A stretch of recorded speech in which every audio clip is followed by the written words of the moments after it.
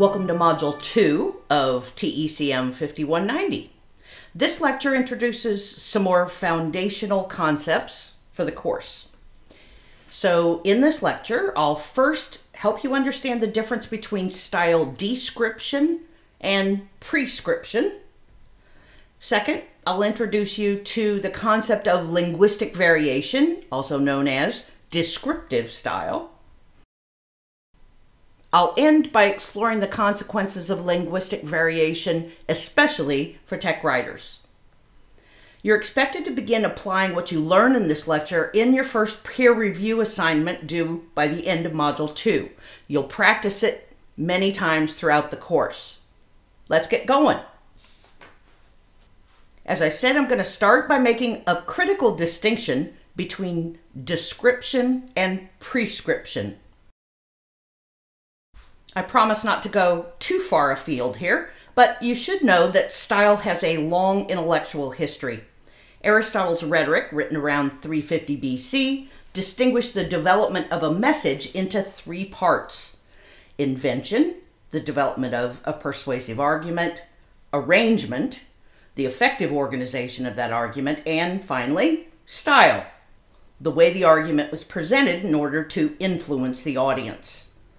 The way style has been primarily used since Aristotle is prescriptive. It's about what people should do. All content guides, for example, whether they focus on style or voice or something else, are prescriptive. They list the standards that writers should follow. Here's a prescription from the Microsoft Writing Style Guide. For Microsoft, in their style, the first version is wrong, the second version is right. You're learning there are a multitude of guides for different types of content in different contexts.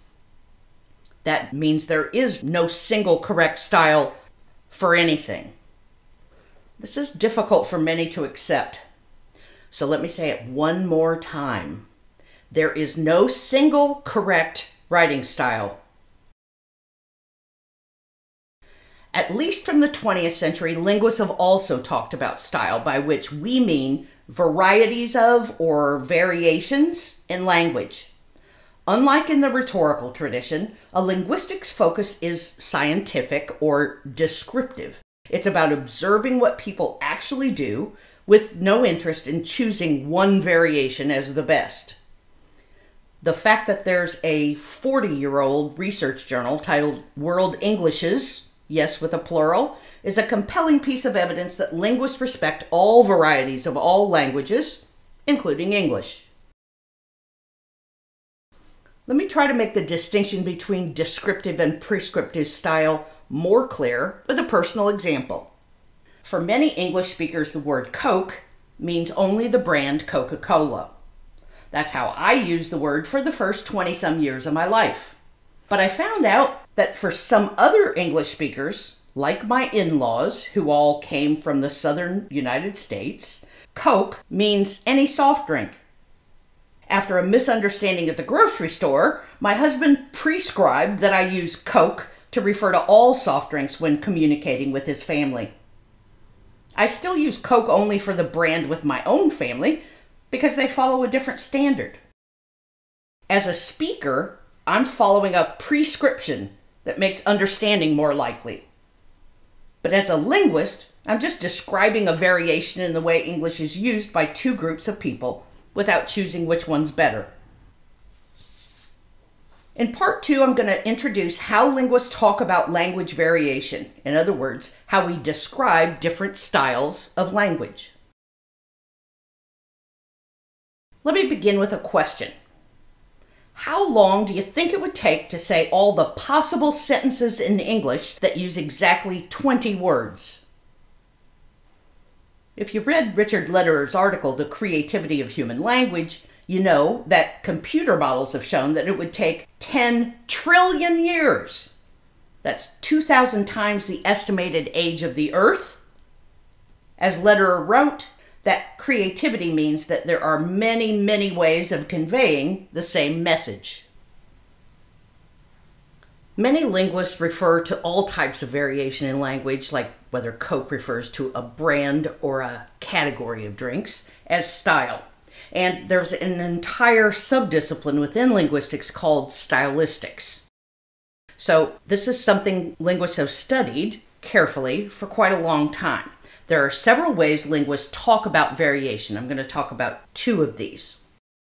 The first way linguists talk about it is to categorize the source of the variation or the varieties. For instance, linguists recognize that some differences reflect dialects of a single language. There are three types of dialects. A temporal dialect is defined by a time in history. So the language of Shakespeare is different from today's English. A regional dialect is defined by a place. The English of my Midwestern family is different from that of my Southern in laws. Or the English of Australia is different from that of Scotland. As the map shows, ancient languages had different dialects too. A social dialect is defined by social groups. For example, the English of your grandmother is different from that of your teenage cousin. Another way to talk about social variation is called register how language differs within specific situations or contexts. So, your teenage cousin probably uses English differently when talking on the phone compared to texting. Linguists call that style shifting. Similarly, your own English in an academic paper probably differs from your English in a workplace email. Linguists usually call this type of variation a genre difference. It should be obvious that language is an important way to display our social identities. I'll come back to this point a little later. The second way linguists talk about variation is to categorize the levels at which language varies. So, over the next few slides, I'm going to introduce terms for some of these levels that are shown in this graphic here. I'll use some examples to help you get the gist of things. This graphic shows the many levels of language linguist study, from its physical manifestation, that's phonetics, maybe phonology, to its meaning when used, that's pragmatics. Turns out that language can vary at any of these levels. For someone who has never studied linguistics, this can seem complicated. The finer distinctions between these levels are not important for our purposes in TECM 5190. But I do want you to build some expertise in talking about language so that you're more accurate and confident when discussing style in writing. If you're going to be a technical communicator, you should have some scientific knowledge about language. I placed a handout in the instructional materials page for Module 2. It's on Canvas. It captures the examples on the following slides and summarizes my discussion. You may want to download it before you continue. In science in general, morphology is the study of forms. As Mark Liberman, professor of linguistics at the University of Pennsylvania, wrote about in his introductory linguistics course, I'm quoting, words are the most accessible and maybe the most important aspect of human language, and so we'll start with morphology, which deals with morphemes, the minimal units of linguistic form and meaning, and how they make up words. That's the end of the quote. So here I'm displaying two variants of the same message. Variant A forms the plural of the second person pronoun with all of you, while variant B uses y'all. In this example, the source of the morphological variation is the regional dialect of the speaker or writer. I'll delay talking about why someone would choose one variant over another or what the consequences of that choice mean until part three of this lecture. Here's another example of two variants of the same message. Variant A uses the word burnt with just the letter T to signal the past participle form, whereas variant B uses burned with an ED instead. We can say the two messages display morphological variation in the way the past verb to burn is formed. If you investigate, you'll find that variant A was the most common form up until around 1900. In general, there's been a slow historical movement in English toward using regularized verb forms, that's those with an ed suffix, to signify past tense. So the source of the variation in this case is likely the temporal dialect of the speaker or writer. Morphological variation describes differences in word formation. Now let's try another kind of variation. Phonology is the study of sound patterns in language. Here are two variants of the same message. One of the ways in which they differ is that variant B has rhyme, let us and upset us, end in similar sounds. We can say the two messages display phonological variation. Here's another set of variants that convey a similar message. But variant B has alliteration. Don't dream and drive all begin with the same sound. Again, the two messages display phonological variation. The source of difference in both of these examples is likely the genre in which the message appears. Both B variants are more successful advertising messages. Turns out that, in English anyway, phonological variation is tightly connected to creative genres like poetry and maybe advertising. More substantive or technical messages almost always choose the non creative variant but I'm using it here because I think it's fairly easy to understand the level of language we're discussing. Sound variation is the focus. Orthography is the study of writing systems for language. Orthography is roughly parallel to phonology, it's how the language is made physical. Here are two variants of the same message. They differ in the spelling of the word modeling. Variant A uses double L, while variant B uses a single L. So the two messages display orthographic variation. These two variants show one additional orthographic difference in the placement of the closing quotation marks before the period in variant A and after the period in variant B. The source of their orthographic differences is likely regional dialect. British writers would be more likely to choose the double L with quotation marks before the period, and American writers, the other variant. Here's another example of two variants of the same message. Variant A uses an asterisk before GET get, while variant B uses the phrase meant to type get. Urban Dictionary uses variant A to demonstrate how asterisks are used in online interactions or texting when a writer wants to correct a previous mistake the source of the orthographic difference. In this case, I think it's probably likely that it's social dialect. A younger writer would use A, but an older writer might use B. Syntax is the study of patterns of combining words into phrases and sentences. Linguists sometimes use tree diagrams to represent the underlying structure of language, like what you see here. Here's an example of two variants of the same message. Variant B uses active voice with the agent of the action, that's we, getting the focus because it appears as the sentence subject. Variant A uses passive voice, be recorded, without naming the agent, with presentations getting the focus as the sentence subject. Unlike most of the examples I've presented so far, there's no obvious source for the two variants. Both active and passive voice appear in all dialects and registers that I know about. Let me take a second to help those who struggle to identify passive voice. It's a very simple two part test. One, ask yourself Does the sentence include a form of the verb be? So that could be is, are, was, were, been, being, whatever. So variant B includes none. That means we know can't be passive voice. Variant A includes two Bs. So these are potentially passives. Second question ask yourself is the form of be followed by a past participle? So that means a verb ending in en or ed. In variant A, the first be is followed by recorded, which ends in ed.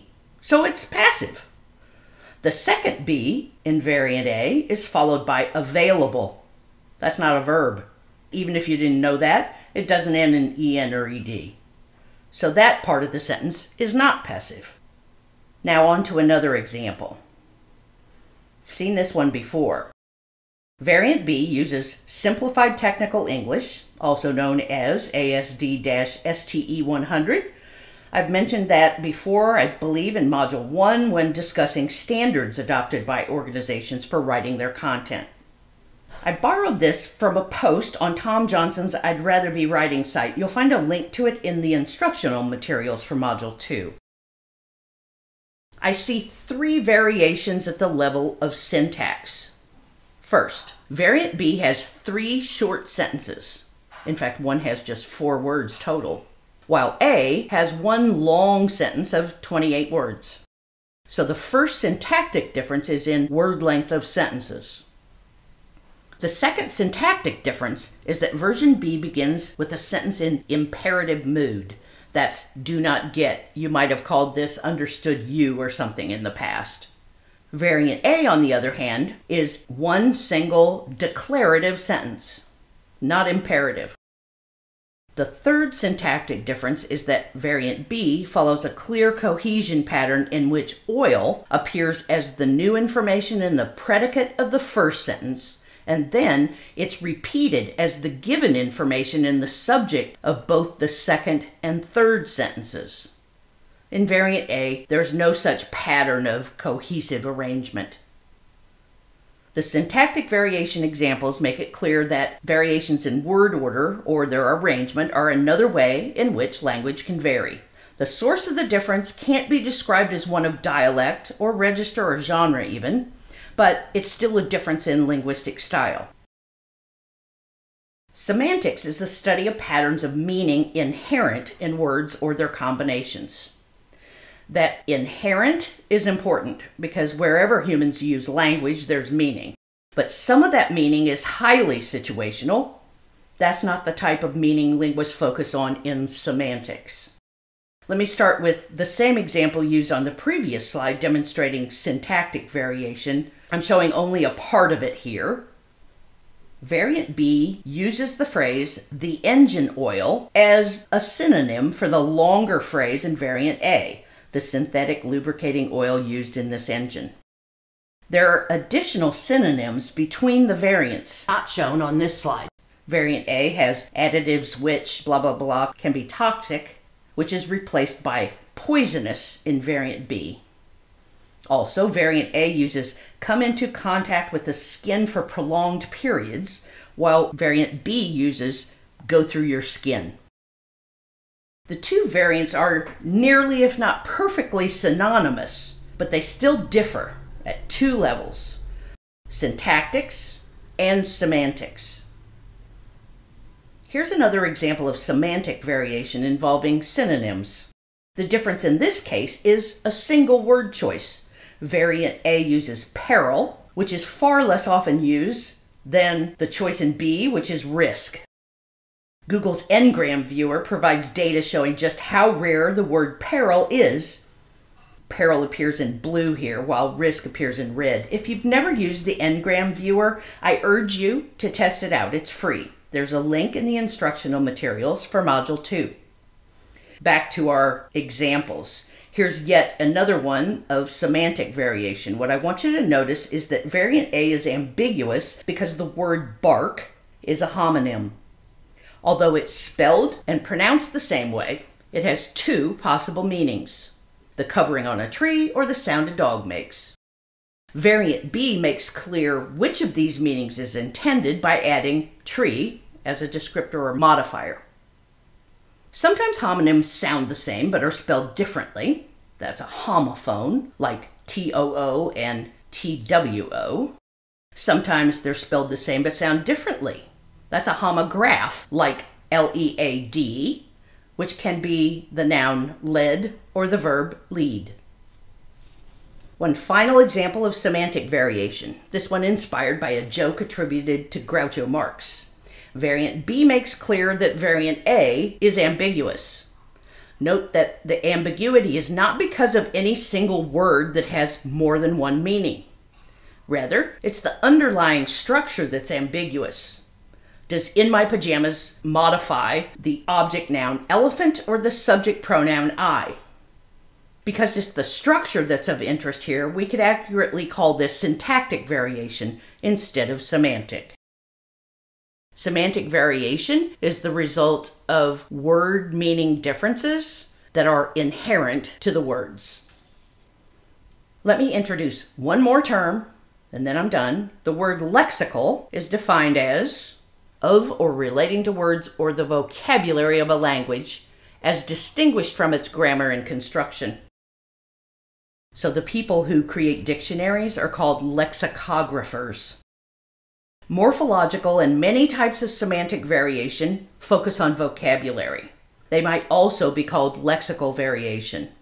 If you can't figure out whether the level of difference is morphological or semantic, you can usually fall back on calling it lexical variation.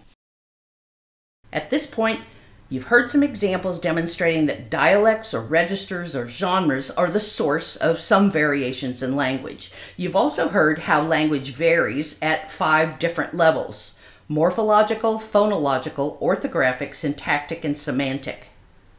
As I said a little earlier, my goal is for you to build some expertise in talking about language so that you are more accurate and confident when discussing style in writing. Remember that there's a handout summarizing what I've just covered on Canvas. In part three, it's time to talk about why someone chooses one linguistic variant over another and what the consequences of their choice are. I'll end by clarifying how these consequences relate to the success of tech writers in industry. Let's start with this quote from a couple of linguists who specialize in American English. They hit on one of the most commonly mentioned consequences of language variation misunderstanding. However, misunderstanding isn't the only consequence. Let me show you what I mean with some examples.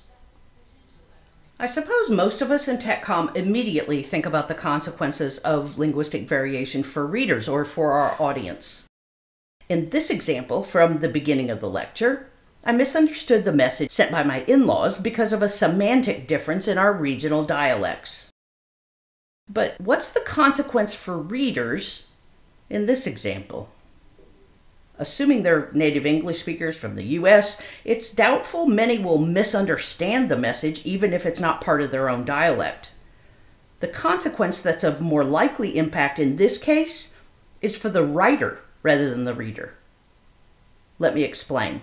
Because y'all is specific to the dialect of the southern United States, that means it's often associated with lower social status. Science makes it clear that people judge others or make attributions about them based on relatively little information, including the use of a single word like y'all.